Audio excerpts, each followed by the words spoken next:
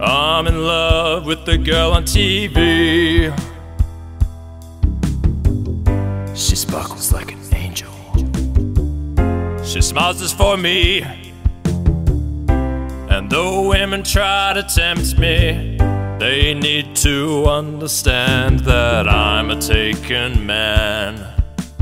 My heart belongs to another. I tracked her down and I went to her home.